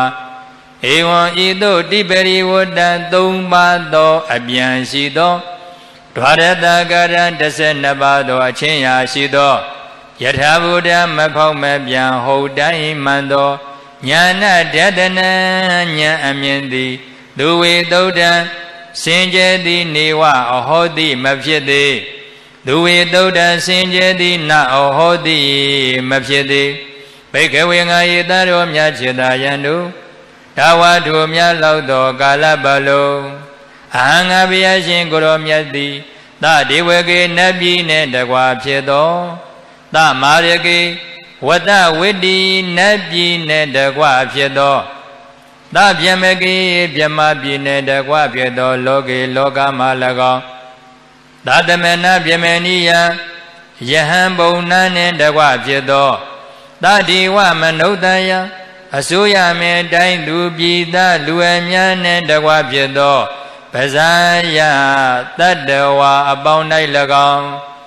အာငါဘုရားရှင်ကိုရောမြတ်သည်အနုတ္တရံအတုမရှိသောသမ္မာသမ္ဗုဒ္ဓိအရဟတမေညာသဗ္ဗညုတညာကိုပိစိညာတိအရဟတမေညာသဗ္ဗညုတညာကိုအဘိဓမ္မုဒ္ဓထိုးထွင်း၍သိမြင်ခဲ့ပြီဣတိဤသို့နေဝပိစိညာတိ ဝန်ခံတော်မမူခဲ့ပါမြတ်စွာဘုရားကပေဇဝဂိ၅ပါးကို ရှင်းပြတယ်ငါဒီတဲ့သစ္စာလေးပါးကိုမသိခင်ကဖျားဖြစ်တယ်လို့ဝန်မခံခဲ့ဘူးတဲ့အဲ့ဒီသစ္စာလေးပါးကိုကခုနပြောခဲ့တဲ့သစ္စာဉာဏ်ကိစ္စဉာဏ်ကတ္တဉာဏ်တပါးတပါးလျင်၃မျိုး၃မျိုး၄ပါးဆိုတော့၁၂ပါး အဲ့ဒီလိုတဲ့မသိခင်မှာငါဖျားရှင်ကိုရောမြတ်သည်ငါဖျားဖြစ်ပြီလို့ဝန်မခံခဲ့ဘူးတဲ့ဘယ်ချိန်ကြမှဝန်ခံလဲဆိုရင်ပေတတ်ရဲ့သစ္စာလေးပါးကိုသိမှဝန်ခံတာဒုက္ခသစ္စာသမုဒယသစ္စာនិရောဓသစ္စာမေဃသစ္စာအဲ့ဒီသစ္စာလေးပါးကိုကိုယ်ပဲဉာဏ်နဲ့သိပြီဆိုတဲ့အခါကျတော့မှငါဖျားဖြစ်ပြီလို့ဝန်ခံခဲ့တာတဲ့ယတောဇာခောမိဘေကဝေဣမေတုသတုတုရိယသစ္စေတု ဧဝံတိပရိဝတ္တဒွရတကတယထာဘုဒ္ဓညာနာတတနာသူဝေသုတ်တံဟောတိအထာဘေကဝေသဒေဝကေလောကေသမာရကေသဗျမေကေတတမနာဗျမနိယပဇာယသာဒီဝမနုဿယအနုတရံသမ္မာသမ္ဗုဒ္ဓေအဘိသမ္ဗုဒ္ဓောတိပိစင်ညာတိခြေသားတို့ငါဘုရားရှင်ကိုရောမြတ်ဒီအဲ့ဒီသစ္စာလေးပါးကို ကိုယ်ပဲဉာဏ်နဲ့သိပြီဆိုတဲ့အခါကျတော့မှငါဘုရားဖြစ်ပြီဆိုပြီးတော့ဗာလေဝန်ခံခဲ့တာရှင်းအောင်ပြောမယ်ဆိုရင်ဘိသိက်သစ္စာလေးပါးကိုသိမှဘုရားဖြစ်ကြောင်းကြီးညာခြင်းထုတ်ပြန်ခဲ့တာငါဘုရားဖြစ်ပြီမယုံဘူးလားစိတ်တဲ့ပုဂ္ဂိုလ်လာမေးလို့ရတယ်ငါဒီအရဟတမေဉာဏ်ကိုလည်းရပြီပြီတပ်ပင်ညုတဉာဏ်ကိုလည်းရပြီပြီအရာအလုံးကိုသိတယ်ဘာသိခြင်းလဲကြိုက်တာမေးလို့ရတယ်ငါဖျားဖြစ်ပြီဆိုပြီးတော့ သစ္စာလေးပါးကိုသိမှဘိသက်ရဲ့ဖျားဖြစ်ကြောင်းကြီးညာချက်ထုတ်ပြန်ခဲ့တာသစ္စာမသိခင်တော့ဘိသက်ရဲ့ဖျားဖြစ်ကြောင်းကြီးညာချက်မထုတ်ပြန်ခဲ့ဘူးမာတကိယတရားသုံးခုနဲ့ကစုံလာပြီးနေ့မှာဖျားဖြစ်တော့ရောက်တော်မူခဲ့တယ်အဲ့ဒီကစုံလာပြီးနေ့မနဲ့ခင်းမှာဘိသက်ရဖះမဖြစ်သေးဘူးဖះမဖြစ်သေးခင်ကစုံလာပြီးနန်းနယ်မိုးတော့ အလင်းရောက်ပြီဆိုတဲ့အခါမှာမြတ်စွာဘုရားကသေနာနီကုန်းသေနာနီကုန်းရဲ့အနီးဘိသက်ရညောင်မင်းကြီးတပင်ရှိတယ်အဲ့ဒီညောင်မင်းကြီးမှာအရှိဘက်ကိုမျက်နှာမူးပြီးတော့ညောင်မင်းရဲ့အခြေမှာမြတ်စွာဘုရားတရင်သုံးတယ်ဖះဖြစ်မဲ့နေ့ပေါ့နော်အဲ့တော့ဖះမဖြစ်သေးဘူးဖះဖြစ်မဲ့နေ့အဲ့ဒီညောင်မင်းကြီးအောက်မှာတရင်သုံးတယ်အဲ့ဒီအချိန်မှာဘိဒ္ဓရဲ့အဲ့ဒီညောင်မင်းကြီးကိုနှစ်စဉ်ပူဇော်နေကြတထေကတော့ဘယ်သူပါလဲ သူဇာတာဟေးဒီကနေ့ငါညောင်မင်းသောနတ်ကိုသွားပြီးတော့ပူဇော်ရအောင်မေဆိုပြီးတော့သူ့ရဲ့ကျွန်မလေးကိုခေါ်ပြီးတော့အဲ့ဒီညောင်မင်းကိုသွားပြီးတော့ရှင်းကြီးတန်ရှင်းလှုပ်ချေဆိုပြီးတော့တန်ရှင်းလှုပ်ခိုင်းတယ်အဲ့ဒီအစီကံမလေးအလုတ္တမလေးကအဲ့ဒီနေရာလဲရောက်လာရောအံ့ဩသွားတယ်ဟာဒီကနေ့တော့ထူးခြားတယ်ညောင်မင်းသောနတ်မင်းကြီးဟာ ကိုထင်ရှားပြပြီးတော့အပူဇော်ခံတော့မေငါတထေးကြော်ကိုအဲ့ဒီအကြောင်းလေးပြောပြမှာပဲဆိုပြီးတော့ဝန္တာအာရဖြစ်ပြီးတော့ဘိဒရဲ့အိမ်ကိုပြန်သွားအရောက်တဲ့အခါမှာတထေးကြော်ကိုပြောပြဟဲ့ကလေးမဟုတ်ရဲ့လားဟုတ်တယ်ဟုတ်တယ်ဆိုရင်ညီကိုသမီးအဖြစ်နဲ့မွေးစားမေသူကိုယ်တိုင်ဝန္တာအာရဖြစ်ပြီးတော့ဘိဒရဲ့ရွှေွယ်ထဲမှာနော်စွန်နေဟင်းတွေထဲပြီးတော့နတ်မင်းကြီးကိုသွားပူဇော်မယ် တကယ်တော့နတ်မင်းဟုတ်ရဲ့လားဘုန်းကြီးတို့မြတ်စွာဘုရားအလောင်းတော်ဘုရားမဖြစ်သေးတော့ဘုရားအလောင်းပေါ့နော်သို့တော့အဲ့ဒီနေ့မှာပဲဘုရားဖြစ်တော့မှာဒါနဲ့ပြိတ္တရဲ့ဝန္တာအရာဖြစ်ပြီးတော့တထေးကတော့သူဇာတတိအဲ့ဒီညောင်မင်းရှိရဲ့နေရာရောက်လာတယ်မြတ်စွာဘုရားလည်းမြင်လဲရောဖះလိုပဲဆိုကြပါစို့ဗျာနော်ဖះဖြစ်မဲ့နေ့ဆိုတော့ဖះလည်းမြဟာဟုတ်တယ်ဒီကနေ့ကငါအတွက်အလွန်ကံကောင်းတယ် နာမည်ကြီးကိုငါဒီကိုယ်တိုင်ကိုကြဖူးမြော်ခွင့်ရပြီဆိုပြီးတော့တခါတည်းစွန်းနေဟင်းတွေထဲထားတဲ့ရွှေခွက်မြတ်စွာဘုရားကိုသွားပြီးတော့လှူလိုက်တယ်အဲ့တော့မြတ်စွာဘုရားကသူ့ရဲ့မျက်နှာလေးကိုတခြားလေးကြည့်သူကလည်းအဲ့ဒါကိုသဘောပေါက်တယ်တထေကတော်ကအရှင်ဘုရားတဲ့စွန်းနေဟင်းနေမကပါဘူးတဲ့ဟောဒီခွက်ပါတပိတော့လှူတာပါဘုရားဒါနဲ့မြတ်စွာဘုရားကဘေးတရဲ့ရွှေခွဲပါအလှခံလိုက်တယ်အဲ့ဒီ သူသန္တာပြန်သွားတဲ့နောက်မြတ်စွာဘုရားသည် နေသာမြေကရောက်လာရောက်လာပြီးတော့ဘိဒတ်ရေချိုးရေချိုးပြီးတော့ဆုံးဖုံးပေးဘယ်နဲ့လို့ဖုံးပေးတယ်49လို့40ခုလောက်ဖုံးပြီးဖုံးပြီးတော့တခါလေအဲ့ဒီရွှေကြကြီးကိုဗိဒိဘယ်မြေထဲမျောချတယ်နေရင်တရာမြစ်နော်ကဲဖယားရှင်သည်ဧကံဖြစ်မဲ့ဆိုရင်ဟောဒီရွှေခွက်သည်ရေညာတို့ စံတဲ့စေတရီအဋိဌံပြီးတော့ရွှေကဲကိုဗိဒိမြစ်ထဲမျောလိုက်တော့အဲ့ဒီရွှေကဲကရေညာနော်အညာဒေတစံတဲ့ပြီးတော့ဗိဒ္ဓရဲ့ဝဲစလုတ်ခြင်းပြတဲ့အခါမှာအောက်ကိုပါလေမြုပ်သွားတယ်အောက်မှာဗိဒ္ဓရဲ့ကာလနဂကာလနဂရဲ့ဗိမာန်ရှိတယ်အဲ့ဒီဗိမာန်ရောက်သွားတယ်အဲ့တော့ဟောဒီဗဒ္ဒကဘာကြီးမှာဖရာ၅စု ဖရာဂေါတမရဲ့အရင်ဗိဒ္ဓရဲ့ဖရာဘယ်နှစုပွင့်ခဲ့လက်ကိုကြည့်လေသုံးစုပွင့်ခဲ့နော်ကကုတံကောနာကုံကတ္တဗဆိုပြီးတော့အေးအဲ့ဒီရှုကတိယဗိဒ္ဓရဲ့ရှိသေးတယ်ဗျအဲ့တော့ခုဘုန်းကြီးတို့မြတ်စွာဘုရားရဲ့ရွှေခွက်ပေါ့နော်အဲ့ဒီရွှေခွက်နဲ့သွားပြီးတော့ဗာလေတိုက်တယ်အဲ့ကြမှာအတန်လေးကြားတော့ကာလနာကဩ မနေ့ကပဲဖရာတဆူပွင့်တာအခုလဲဖရာပွင့်ပြန်ပြီပဲတဲ့ဖရာတဆူနဲ့တဆူကြားတဲ့ကိုဗိသက်ရဲ့ तू ကတရက်လောက်ထင်းနေတာကတ္တမဖရာပွင့်ပြီတာကြာလာပြီအဲ့ဒါကဟာမနေ့ကပဲဖရာတဆူပွင့်သွားတယ်တဲ့ဩဒီနေ့လေဖရာပွင့်ပြန်ပြီပဲတဲ့အဲကြောင့်ရည်စရာပြောရတယ်နော်ကာလနာကအလွန်အိတ်တယ်ဆိုတာရည်စရာပြောကြတယ် အဲ့တော့ပြောချင်တာကဘေးတဲ့မြတ်စွာဘုရားသည်အဲ့ဒီရှုကကြီးကိုမျောမျောပြီးတော့အဲ့ဒီသေနာနေကုန်းကနေဘယ်ကိုကြွလာတယ်ဘောဓိပင်ရှိရာကိုကြွလာတယ်လမ်းမှာဘယ်သူနဲ့တွေ့တယ်မြတ်ထန်ဓမ္မတုဋ္ဌိယနဲ့တွေ့တယ်အဲ့ဒီတုဋ္ဌိယကဘေးတဲ့ရဲ့မျက်ရှိစုပ်လှူတယ်မျက်ရှိစုပ်လှူတဲ့အခါမှာမြတ်စွာဘုရားလက်ခံလက်ခံပြီးတော့ဘောဓိပင်အောက်လေရောက်တော့တခါတည်းအဲ့ဒီမျက်ရှိစုပ်ကိုဘာလုပ်တယ်ကျေးလိုက်တယ် ကျဲလိုက်တော့အဲ့ဒီနေရာမှာဗိသေယအပရာဇိတပလင်ကြီးပေါ်ထွက်လာတယ်အဲ့ဒီအချိန်မှာမြတ်စွာဘုရားမဖြစ်သေးခင်အချိန်လေးမှာအဲ့ဒီပလင်ပေါ်ထိုင်ပြီးတော့ငါသည်ဖယားမဖြစ်မချင်းဟောဒီပလင်ကနေမထားတော့ဘူးဆိုပြီးတော့အတိတ်ထံပြီးတော့ထိုင်တော်မူတယ်အဲ့ဒီအချိန်မိတ်တရဲ့ညနေဆောင်နေဝင်ကာနီအချိန်မှာ နှက်ထဲမှာတော့နှက်ဆိုးပေါ့ဗျာဘယ်သူပါလိမ့်မာနပေါ့ဟုတ်လားမာနရောက်လာပြီဒီပလင်ငါလူမယ်ဆိုပြီးတော့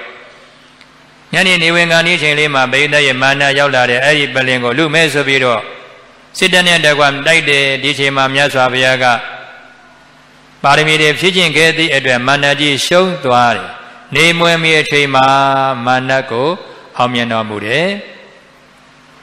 အဲဒီနောက်ဗိဒ္ဓရဲ့ညာဥယျာအချိန်မှာ ပုဗ္ဗေနိဝါဒနုတ္တိညာရတကောင်းရညာချမ်းအချိန်မှာဒိဗ္ဗစကုညာရမိုးတော်ရအချိန်မှာအာတဝဲခရညာရအတိကအကြောင်းအရာတွေကိုအကုန်လုံးသိတဲ့ဉာဏ်ကိုပုဗ္ဗေနိဝါဒနုတ္တိညာနတ်မျက်စိကဲ့သို့ခြားကွယ်နေတဲ့နေရာတွေဝေးလံတီးကောင်းတဲ့နေရာတွေကိုမြင်နိုင်စွမ်းရှိတဲ့ဉာဏ်ကိုဒိဗ္ဗစကုညာကိလေသာအတော်တရားတွေကိုကုန်ခန်းစေတဲ့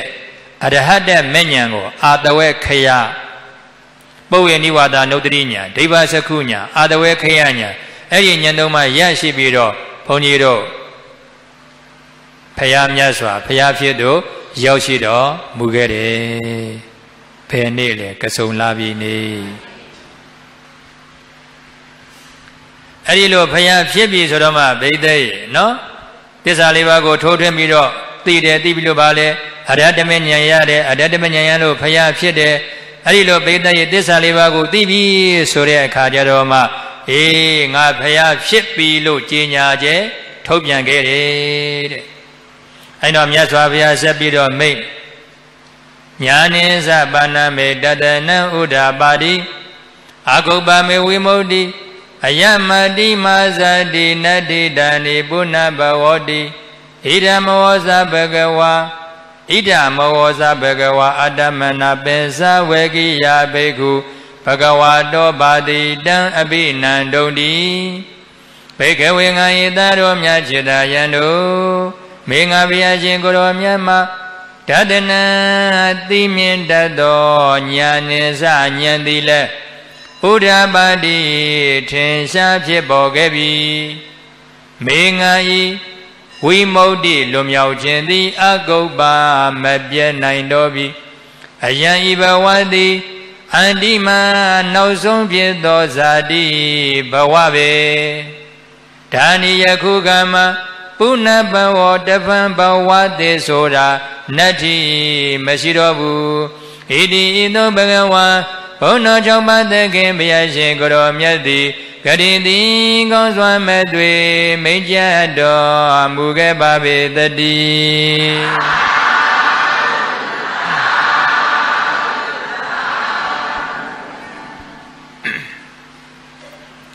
မြတ်စွာဘုရားကဆက်ပြီးတော်မူတဲ့ခြေသားတို့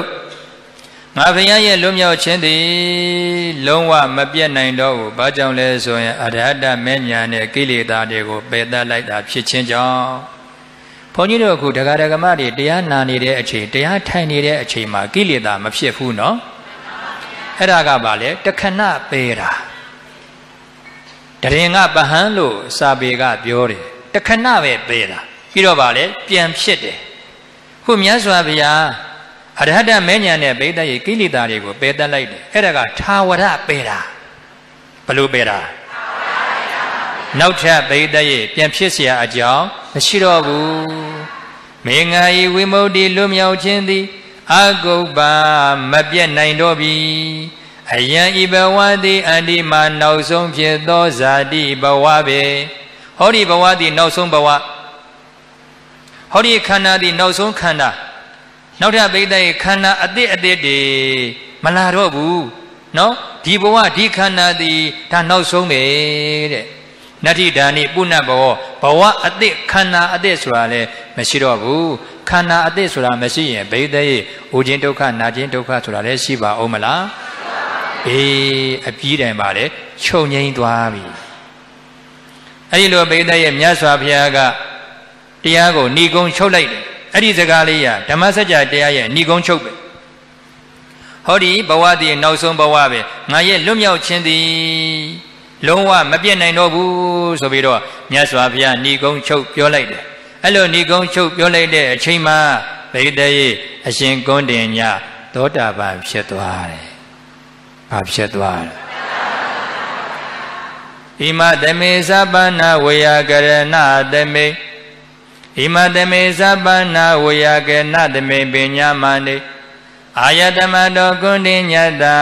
ဝိရဇံဝိတမလဓမ္မစကုံဥဒ္ဓပါတိယံကိစီသမုဒယဓမ္မသဗ္ဗန္တံនិရောဓဓမ္မန္တိဣမတမေသဗ္ဗနာဝေယကေနတမေကာထမေပေတတတောဤတရားဒေသနာတော်ကို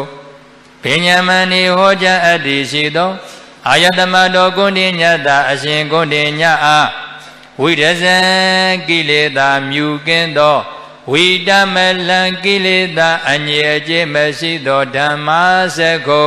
တရားမျက်လုံးသည်ဥဒ္ဒပါတိထင်ရှားဖြစ်ပေါ်၍လာခဲ့ပြီယံကိစီအကျင့်အမတ်မရှိအလုံးစုံသောသဘောတရားသည်သမုဒိယဓမ္မဖြည့်ခြင်းသဘောရှိ၏ တပ္ပံအလုံးစုံသောတန်ထိုသဘောတရားသည်និရောဓဓမ္မချုပ်ခြင်းသဘောရှိ၏ဣတိဤသို့ဓမ္မစက်ကိုတရားမျက်လုံးသည်ဥဒ္ဓပါရိယေထင်ရှားဖြစ်ပေါ်၍လာခဲ့ပြီမြတ်စွာဘုရားကဘိသိယေခုနကပြောခဲ့တယ်လို့နောက်ဆုံးဏီကုန်းကျော်ဟောလိုက်တဲ့အခါမှာအရှင်ကုန်းတင်ည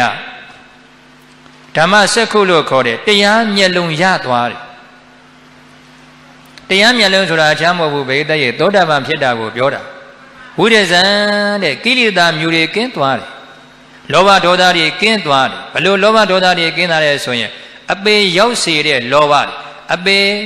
ရောက်စေတဲ့ဒေါသတွေကင်းသွားတယ်အဲ့ဒါကိုဝိရဇံနောက်တစ်ခုဝိတမလံကိလေသာအညစ်အကြေးတွေမရှိတော့ဘူးဒိဋ္ဌိနဲ့ဝိစီကိစ္စအမြင့်ပြပေတတ်လိုက်ပြီ ဒိဋ္ဌိဆိုတာငါဆွဲပဲဝိသိကိစ္စဆိုတာတန်တရာတူလို့တူလို့တန်တရားဖြစ်နေအဲ့ဒါဝိသိကိစ္စငါဆွဲလွန်ခဲ့ရင်တက်ကာယဒိဋ္ဌိအဲ့တော့သောတာပန်ဖြစ်ပြီဆိုတော့ဗိဒ္ဓရဲ့တက်ကာယဒိဋ္ဌိလည်းမရှိတော့ဘူးဝိသိကိစ္စလည်းမရှိတော့ဘူးအမြင့်ပြပေတတ်လိုက်ပြီဒါကြောင့်သောတာပန်ဖြစ်ရင်ဗိဒ္ဓရဲ့တရားမျက်လုံးရသွားပြီတဲ့ အဲ့လိုတရားမျက်လုံးရပြီဆိုတော့ဗိဒ္ဓရဲ့အပရကလည်းပိတ်သွားပြီပေါ့သောတာပန်ပုဂ္ဂိုလ်တွေနေရရင်ဘိဒရဲ့အလွန်ဆုံးနေရရင်ဘယ်နဲ့ဘဝလဲခုနှစ်ဘဝပဲဗျာနော်ခုနှစ်ဘဝဟာအလွန်ဆုံးပဲနောက်ထပ်ဘဝရဘိဒရဲ့ခုနှစ်ဘဝကလွန်ပြီးတော့ရှေ့ဘဝကိုဘဝနေရတယ်ဆိုတာမရှိတော့ဘူးအဲ့ဒီခုနှစ်ဘဝကလည်းကောင်းတဲ့ဘဝတွေနော် လူဘဝနတ်ဘဝမြမဘဝဆိုတဲ့ကောင်းတဲ့ဘဝတွေပဲကျင်လေရတယ်ဒီတော့ပိဋကရဲ့ဒုက္ခလေးနည်းနည်းတော့ပါလေကြံသေးတယ်ဘာကြောင့်လဲခုနှစ်ဘဝကြံသေးလို့တချို့ကလည်းနှစ်ဘဝတချို့ကလည်းတစ်ဘဝအလွန်ဆုံးပြောတာခုနှစ်ဘဝဆိုတာအဲ့တော့ဒုက္ခလေးနည်းနည်းတော့ပါလေကြံသေးတယ်သို့တော့ကုံဆုံးပြီးသားဒုက္ခတွေကအနန္တာဒါကြောင့်မြတ်စွာဘုရားကပြောပြတယ်လက်မလေးနဲ့ မြေကြီးလေးကိုကောပြီးတော့ချက်သားတို့တဲ့ဟောဒီလက်သေးကုံပေါ်မှာမြေမုံလေးကြံတယ်ကွာတဲ့သောတာပန်ပုဂ္ဂိုလ်များမှာကျွင်းကြံတဲ့ဒုက္ခသည်တဲ့လက်သေးကုံမှာရှိတဲ့မြေမုံတော့ပဲရှိတော့တယ်ကျွင်းကြံတဲ့ဒုက္ခနော်ကုံဆုံးပြီးသားဒုက္ခချုပ်ငြိမ်းပြီးသားဒုက္ခတွေကကွာတဲ့ဟောဒီကဘာမြေပေါ်မှာရှိတဲ့မြေမုံဒီလောက်ရှိတဲ့ဟိအဲ့တော့ပိဋကရဲ့ဒုက္ခဟာ မရှိတော့တဲ့လောက်ဖြစ်သွားတယ်နော်ဘုန်းကြီးတို့ပုထုဇဉ်ပုဂ္ဂိုလ်များကြတော့ပိဋကရဲ့ဘယ်နဲ့ဘဝလောက်ကျင်လျာဥမယ်ဆိုတာမှတ်စနိုင်ရဲ့လားအေးငရဲကိုလည်းအကျဉ်းချင်းကြာရအောင်မယ်တရိษံလည်းအကျဉ်းချင်းဖြစ်ရအောင်မယ်ပြိတ္တာလည်းအကျဉ်းချင်းဖြစ်ရအောင်မယ်ဘာကြောင့်လဲဘဝဟာပိဋကရဲ့နော်အကန့်အသတ်မရှိသေးဘူးသောတာပန်ပုဂ္ဂိုလ်ဆိုတာကအလုံးစုံနေရရင်ခုနှစ်ဘဝအပေတကားပိတ်သွားပြီဘုန်းကြီးတို့ပုရုဇဉ်ပုဂ္ဂိုလ်များကြတော့အပေတကားက မပိတ်သေးဘူးဖွင့်ထားတယ်ဒါကြောင့်ဘိသက်ကြီးငရဲကိုအကျဉ်းချင်းမကြနိုင်ဘူးလားကြနိုင်တယ်ဒါကြောင့်သောတာပန်ဖြစ်ပြီဆိုရင်ဘိသက်ရဲ့အဲ့ဒီဒုက္ခတွေဘာလဲရှိတော့ငြိမ့်သွားပြီကျွင်းကြံတဲ့ဒုက္ခဟာမပြောပါတော့တော့ဘူးတဲ့ဒါကြောင့်သောတာပန်ဖြစ်ရင်တရားမျက်လုံးပါလေရသွားပြီအဲ့ဒီတော့ဘိသက်ရဲ့အရှင်ကုန်းတင်ညာလေသောတာပန်ဖြစ်လေဆိုတော့ နတ်ဒီပြမာတွေဝန်တာပြီးတော့ကြွေးကြော်ကြတယ်ဟောမြတ်စွာဘုရားဓမ္မစကြာတရားဟောပြီးပြီဆိုပြီးတော့ရှေးဥစွာဘိဒ္ဓရဲ့ဟောဒီမြေပြင်မှာနေကြတဲ့နတ်တွေကကြွေးကြော်ကြတယ်အဲ့ဒါကိုစာပေကပြောထားတယ်ဘောတိတေသဗ္ဗနာဘဂဝတာဓမ္မစကေဘုံမာဒီဝသတ္တမနုဿာဝေတု ဧတံဘဂဝန္တပါဒနတိယဣတိပတနေမိဂရာယေအနုတရံဓမ္မစကံဘဝတိတံအပတိဝတိယံသမဏိနဝါပြမဏိနဝါဒေဝေနဝါမာရိနဝါပြမှုနာဝါကေနစီဝါလောကသမိန်တိမြေပြင်မှာနေတဲ့ဘုံမစိုးနတ်တွေကကြွေးကြော်ကြ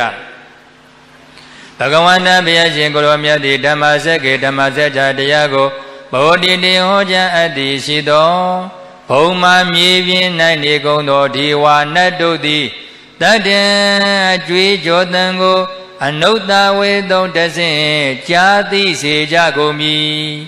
ဘဂဝတံဘုရားရှင်ကိုရောမြတ်သည်ဗာဒနတိယဗာဒတိမျိုးရဲ့အနိမဣတိပတေနိဣတိပတနာမြည်သောမိဂရာယေ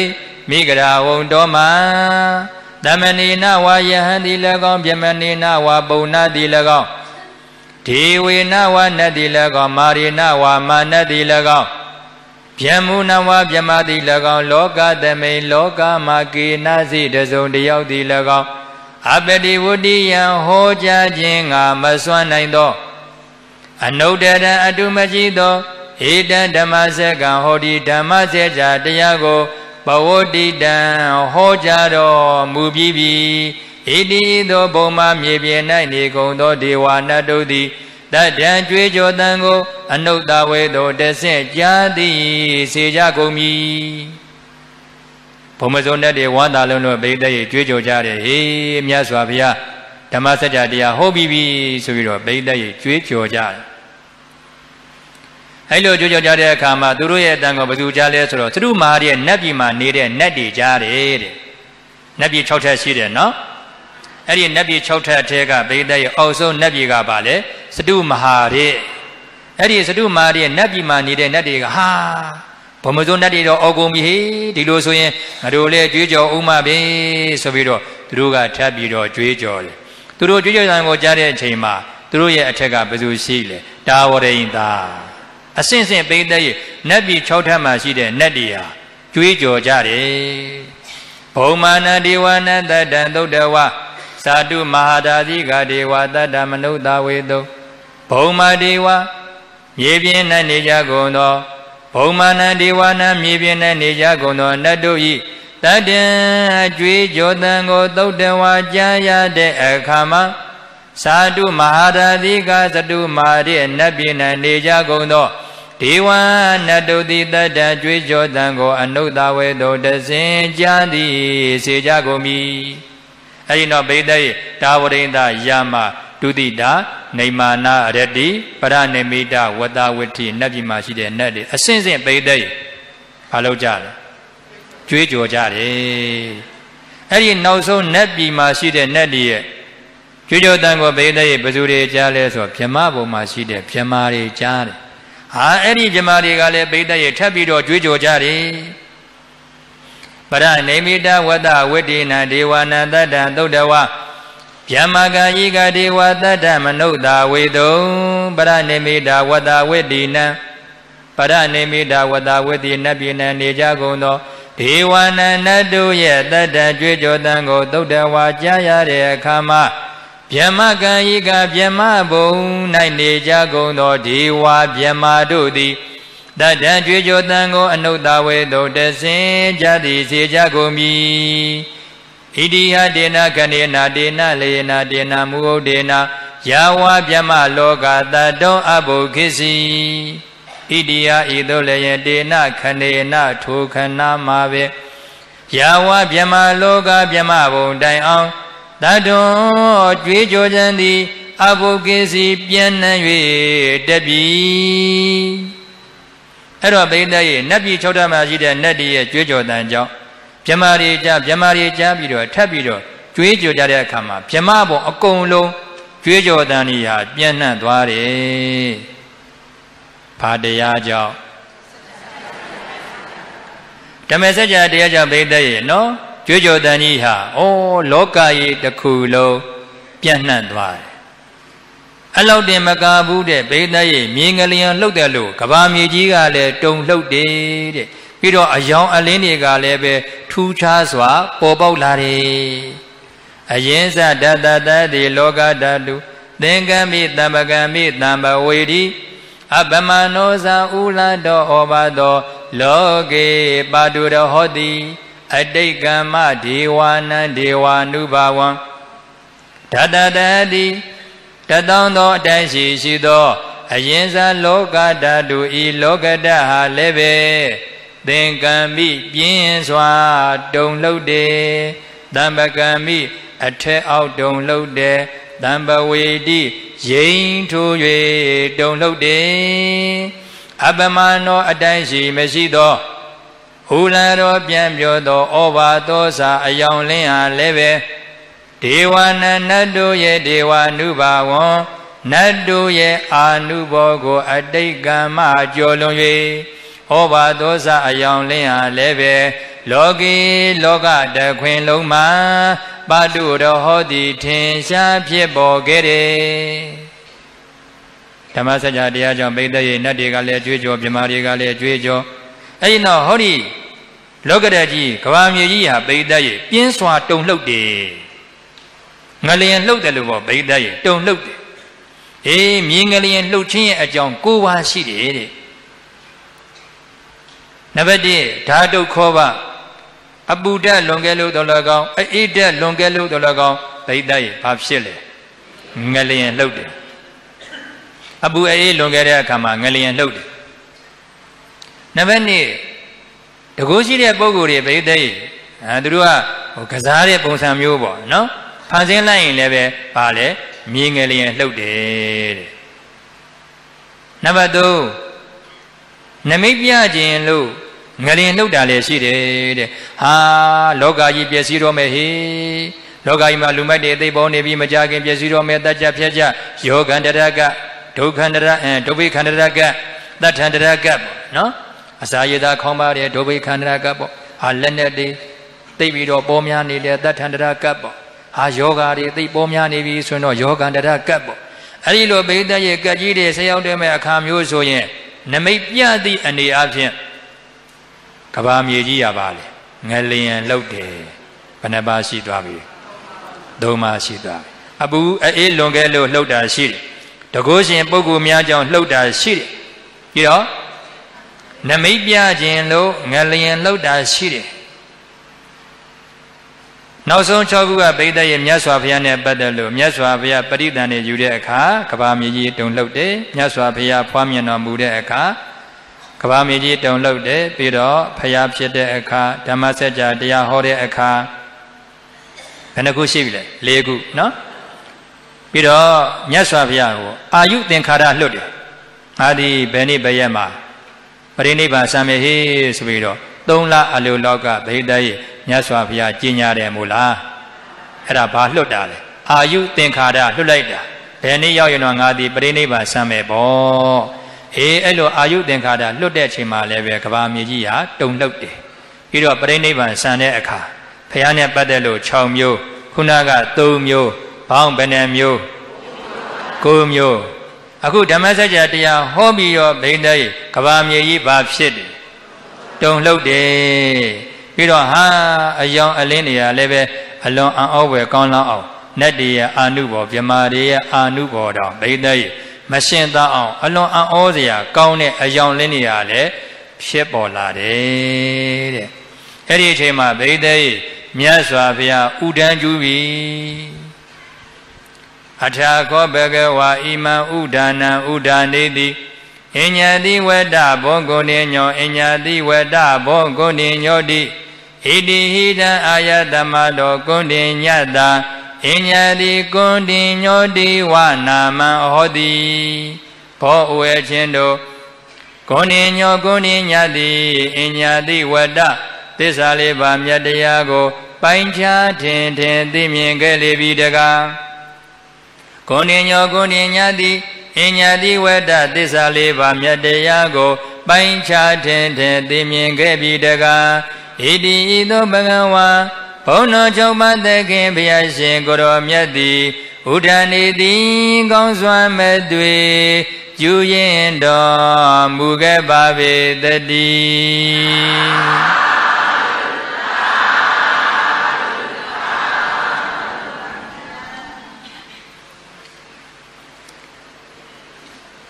ကဘာမြေကြီးရာတုံလို့သွား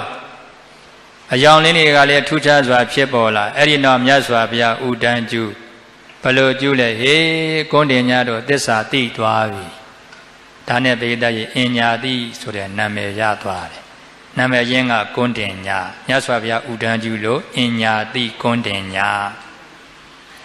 အဲ့တော့ဘေဒရဲ့အင်ညာတိကွန်းတင်ညာကအရှင်ဘုရားတပည့်တော်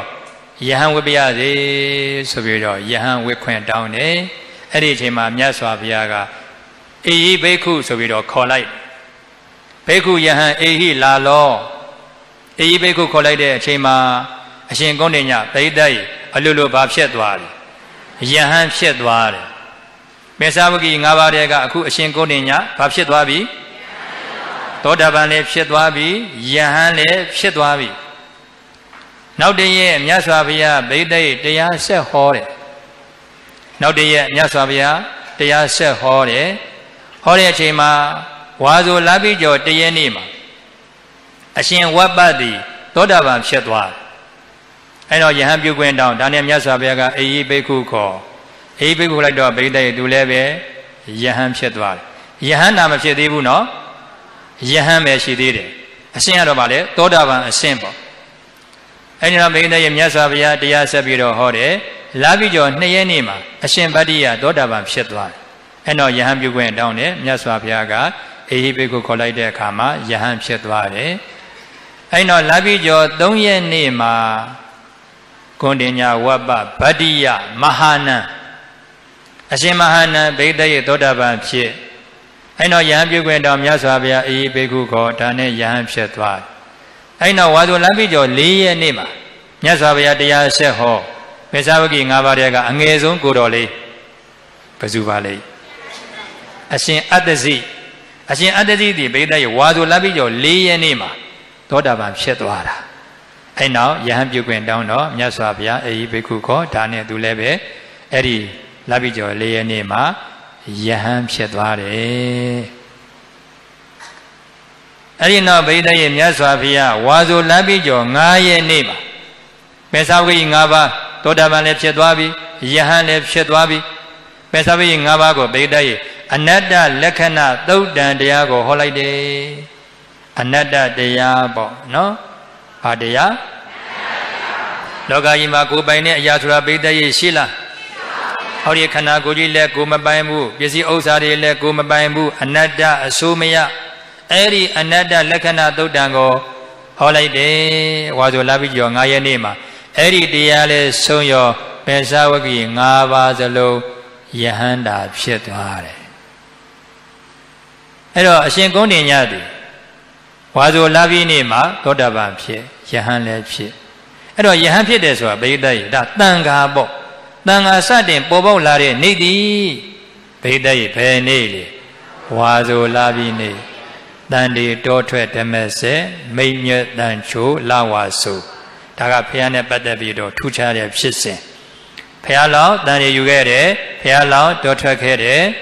ပြီးတော့မြတ်စွာဘုရားဓမ္မစကြာတရားဟောခဲ့တယ်ဘယ်နေ့လဲဝါဆိုလာပြီးနေ့ပြီးတော့အရှင်ကုန်းတင်ညယဟန်ဖြစ်တယ်ဘယ်နေ့လဲဝါဆိုလာပြီးနေ့ဒါကြောင့်ဘိသေကြီးတန်ဃာယရနာစတင်ပေါ်လာတဲ့နေ့သည် ဝါဆိုလာပြီနေလို့အာလုံးမှတ်ထားကြနော်အဲ့တော့ဝါဆိုလာပြီကျော်9ရက်နေ့မှာပင်စာဝကိ9ပါးလုံးဘာဖြစ်သွားယဟန္တာဖြစ်သွားဘာတရားနာရလို့အနတ္တလက္ခဏာသုတ်တံအဲ့ဒီတရားကိုနာကြားခွင့်ရလို့အလုံးယဟန္တာဖြစ်သွားကြတယ်ဒီတော့ဗိဒ္ဓရဲ့လောကကြီးမှာယဟန္တာ6ပါးပေါ့မြတ်စွာဘုရားနဲ့ပေသဝကိ9ပါး ဝါဆိုလာပြီးကြော9ရက်နေ့မှာဗိဒ္ဓရဲ့လောကကြီးမှာယဟန္တာဘယ်နှပါပေါ်ထွက်လာအေးယဟန္တာဖြစ်ပြီဆိုရင်နောက်ထပ်ဘဝတည်းဆိုတာရှိသေးလားဟောဒီခန္ဓာသည်နောက်ဆုံးခန္ဓာဒီဘဝသည်နောက်ဆုံးဘဝဒါကြောင့်မြတ်စွာဘုရားကဓမ္မစကြာတရားရဲ့ဏိကုံးကျုပ်လေးမှာပြောပြတယ်ညာနိသပါဏမေတတနံဥဒ္ဓပါတိ အာဂုပ္ပမေဝိမု ക്തി အယမတိမဇာတိနတ္ထိဒာနိပုဏဘဝဘေကဝေငါယိတရောမြခြေတယံတို့မေငါဘုရားရှင်ကိုရောမြတ်မှာတတနတိမြင်တတ်သောညာနှင်းစညာသည်လေဥဒ္ဓပါတိထင်ရှားဖြစ်ပေါ်ခဲ့တယ်မေငါဤဝိမု ക്തി လွမြောက်ခြင်းသည်အကုပ္ပမပျက်စီးနိုင်တော်ပြီ အယံဤဘဝသည်အန္တိမနောက်ဆုံးဖြစ်သောဇာတိဘဝပေဒါနိယခုခမဒါနိယခုခမပုဏ္ဏဘဝဘဝသေးဆိုတာနတ္ထိမရှိတော့ဘူးဣတိဣသောဘဂဝါဘုန်းတော်ကြောင့်မသက်ခင်ဘုရားရှင်ကိုရောမြတ်သည်ကရေတိကောင်းစွာမတွေ့မိတ်ကြတော်မူခဲ့ပါပေတည်း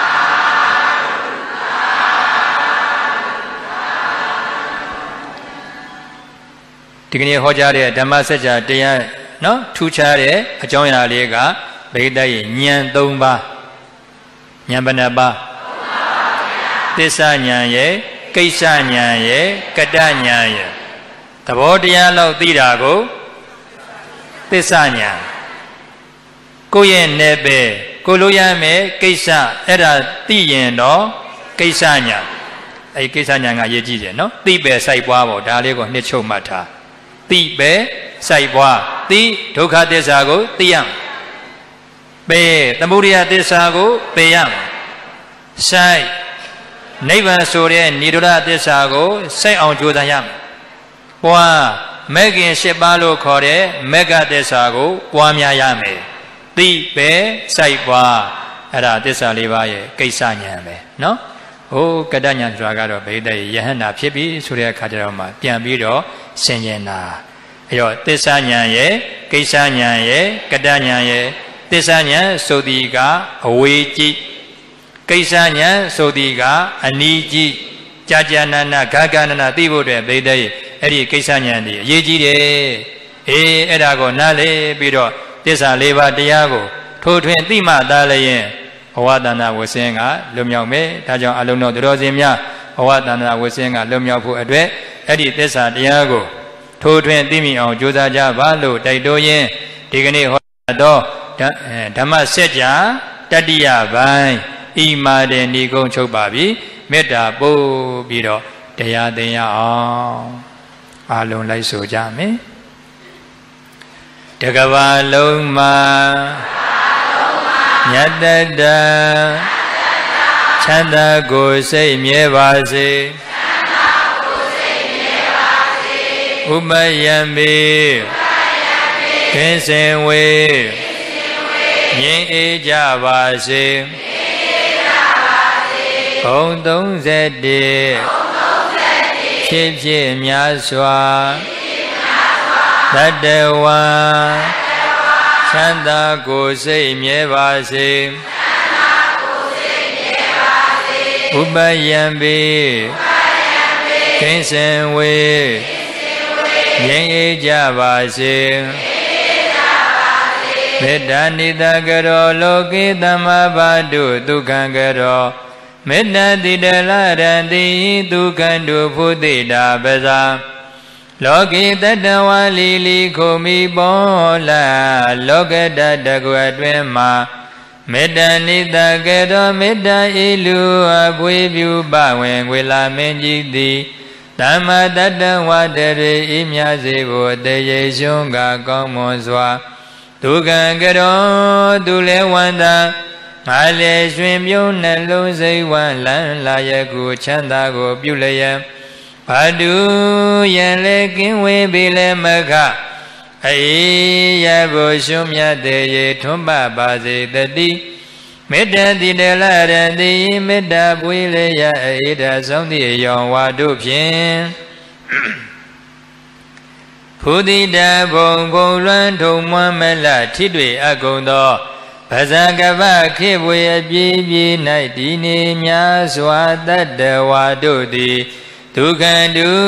ကိုစိတ်ဧကဘေးရန်ကွာ၍ဝန္တတကွချမ်းသာကြပါစေကုန်တည်း